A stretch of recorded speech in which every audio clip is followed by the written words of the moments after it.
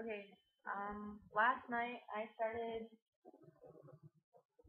reading this book, Sunshine by Norma Klein. Um, it's based on, um, well, it's based on a TV movie that they took from the recordings of Jacqueline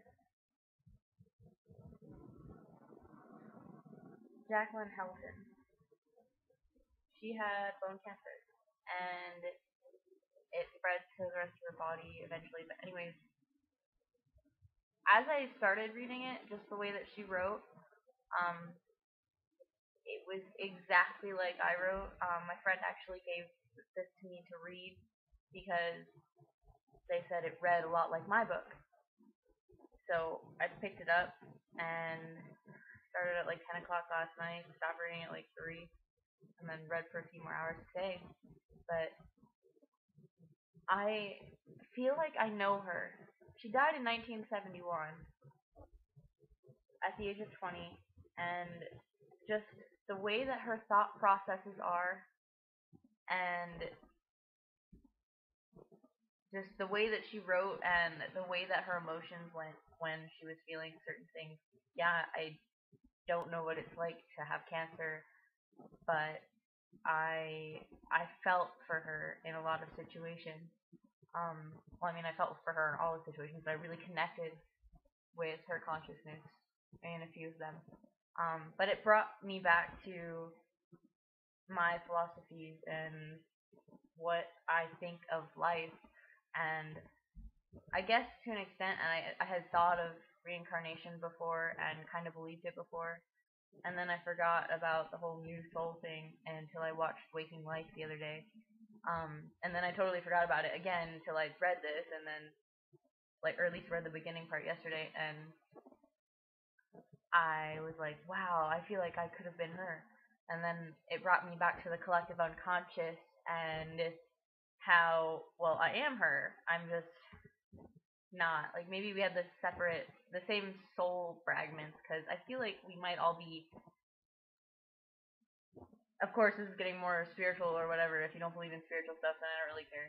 Um, I feel like the collective unconscious is like this big glob of consciousness or soul, and when we are born, we have like a little piece of this giant bubble, and that's why some people relate so well because maybe they have a piece of the same bigger piece that was once somebody else, and that's why you connect so much.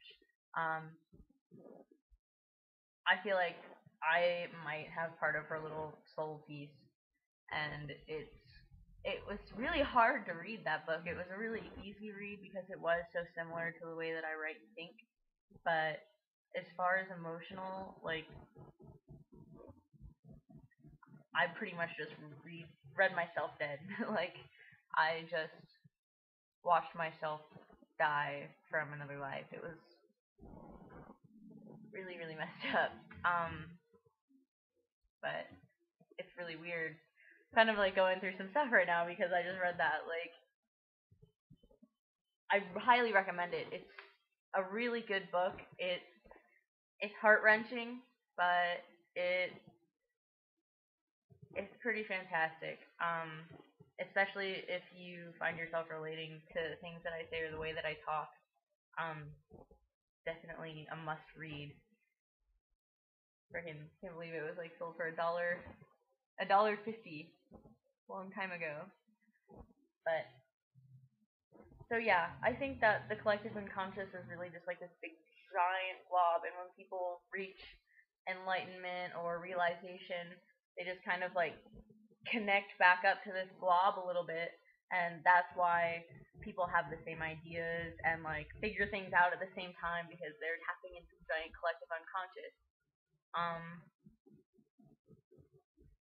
pretty much all I have to say about that. Um, that was the most intense book I have ever read. Um, just probably because it relates to me so much. I mean, I think I've read books that were more intense in other aspects, but the fact that I felt like that was me, like I know that girl like inside and out. I just I'm mourning her. like what like 42 years later I'm mourning her. It's ridiculous. But um if you've ever read a book that has had like that connection with you, like where you literally like felt like that was you, like not just you could relate, but like you know, like that person, like I wonder, was what one thirteen? Yeah, there's a page in here. But I read that and I just freaked out because she wrote a lot of poems. Um, one is called America, hurrah, ha, ha, ha. No, hurrah, ha, ha. it's weird saying hurrah and then ha, ha, ha. It's hurrah, ha, ha, ha. Um, here it is. You may take your poverty aid, and your military aid, and your foreign aid, and even your Kool-Aid for what it's worth, America. You may burn us for burning our draft cards, as our mothers once burned us for, before for playing with matches. But it no longer matters, America. You can prosecute us for not killing in an unjust war, for wanting peace, through a universal, workable understanding, love. I don't want to kill a person for such an unworthy cause as we are fighting for now. I defy you, America. You can imprison us for years and months and young and productive lives because we happen to have the guts, America, the guts to stand for what we believe in because we are human, because we retain our humanity despite your propaganda. You can stifle the lives of those who haven't been told, but not me, America. I am free, you hear? They only can understand as far as you have taught them, and that's not very far. Their minds have grown lethargic and old. Freedom can't be won with a song. Right, it takes many voices and many songs. We, we are the ones that matter. You have grown old, and you have done your work. Let us grow old as we wish. Step aside. I prefer the feel of a newborn child and a man's hand on my shoulder to that of a weapon, whether material or immaterial. I read like the the third and fourth verse. I mean, I really that it sounds like something I wrote. Sounds like something I thought.